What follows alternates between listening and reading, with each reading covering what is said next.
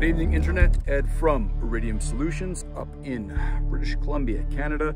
Tonight, I want to talk to you about the blue uh, heavier duty Esmark bandages that we sell on our website, iridiumsolutions.ca.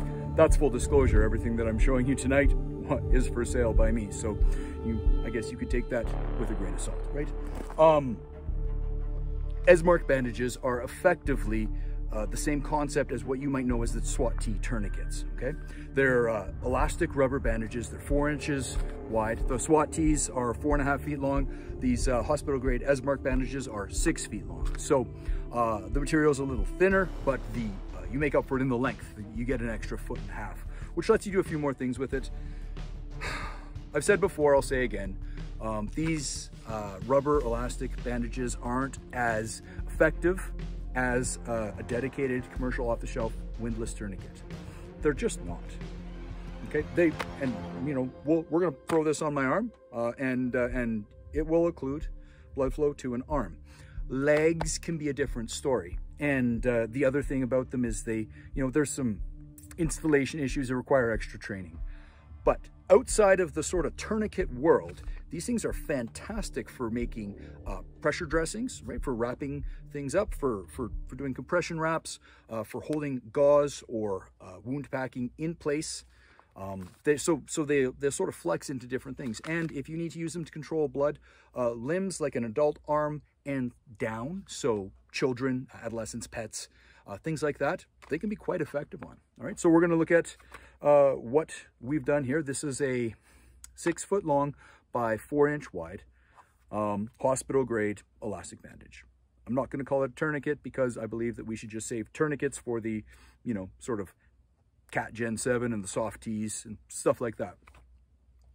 But one problem that we have if we try to use it to control uh, massive hemorrhage, say in, you know, one of our limbs, uh, like an arm, where we only have one hand, one of the, uh, as an aside, one of the sort of criteria to meet for a, a tourniquet, a windlass tourniquet to be uh, Committee on Tactical Combat Casualty Care approved is it needs to be uh, one hand applicable. So you need to be able to self-apply it, right? And a lot of these uh, uh elastic bandages kind of sort of fail there because what are you going to do? They're just strips of elastic. Well, it's pretty easy. We're going to tie a loop in the end. And here's, I'm going to show you what we've done and how to put it on, okay? So all we're going to do is just going to tie a loop in it. Okay, I've tied a little slip knot in it, so it'll tighten up on itself.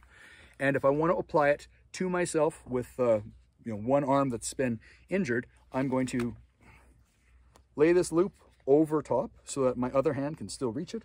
I'm going to reach through this loop right like here, and I'm going to grab the rest of this pressure bandage, right? This comes through here. Because I want this to dress up nice, I'm going to start it from the top there, and then I'm going to wrap around. Remember, I want to try to keep this when it's fully installed about an inch and a half or more wide on the arm. I don't want to let it go super skinny because that's when you run into the problem of damaging talking and installing tourniquets uh, damaging the tissue at the top layer in order to get the uh, compression that you need at the bottom so that's on.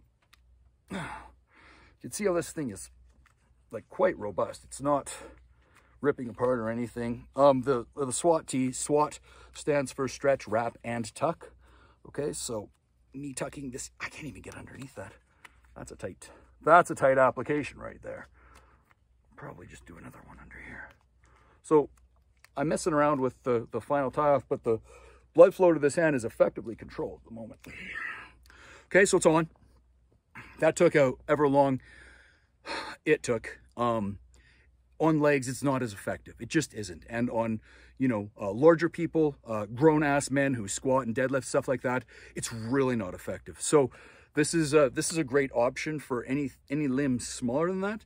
And I really like these in civilian kits because they flex really well into uh, being, you know, being the compression wrap for a pressure bandage, uh, just being the wrap for holding, you know, gauze or, uh, or dry sterile cravat. Like if you have a burn for, if you have something dry on, on there and you want to just keep it wrapped up, this might work. Um, if you have abdominal injuries, uh, you know, for holding guts in or for, you know, putting a shirt if you didn't have anything else or, you know, abdominal pads, gauze, what have you, uh, to hold, hold everything together.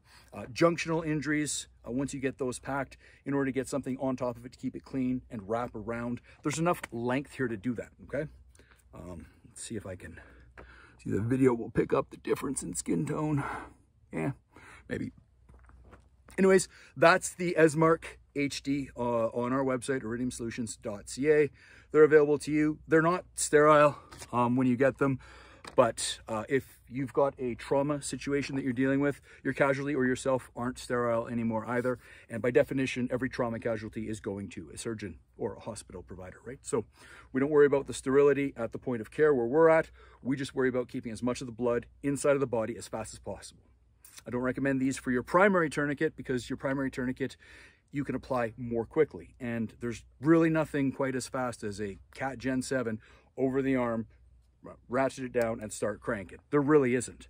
Um, but these are a great secondary and these are great if you're using them on somebody else. So check them out and uh, thanks for watching. Comment below if you uh, love TK4s and RATS or rapid tourniquets and you think this is just some hokey pokiness, comment below. If uh, you're never going to use a pressure bandage, uh, in place of a tourniquet because you're a you know COTCC zealot, com uh, comment below. Let's have a discussion about it.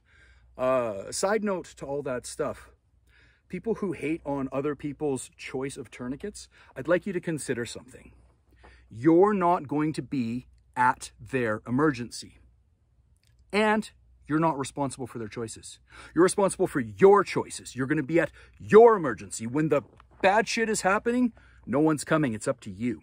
So you choose what works for you. Don't worry about what the internet says. Okay?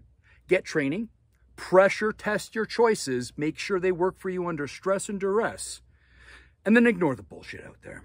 Okay? You want to learn real shit? Come to us. Uh, I'm going to teach you what you need to know, and then I'm just going to ignore all the other stuff. Uh, one thing I will tell you about, you know, sort of non-standard tourniquets, every current first aid, level first aid course that's available in North America teaches improvised tourniquets as part of their standard curriculum. Okay, so improvised tourniquets are still a thing. So using stuff in your environment is still a thing for making tourniquets. We're not at the point where everyone just accepts that a commercial off-the-shelf windlass tourniquet is where our, our starting point. Okay, we're already at the point where we, we talk about improvised tourniquets. So there's no reason this can't be viable, but there are better choices uh, yeah, I feel like I had a, did a whole different segment there, but it's important stuff. Uh, we're, we're sort of debunking myths, and as we go forward, we want to bring up everybody's understanding to a point where you have a base level competency that you can pass on to the people that you love, you care about, or you are responsible for. And if you can do that, and if, you know, when your time comes, when you're called up to bat and you've got to do uh, life-saving interventions to, to affect change in someone else's life and, you know, let them continue living or your own, then you're ready. You're at the plate. This is Ed from Iridium Solutions, reminding you to get outside, get training, and keep getting after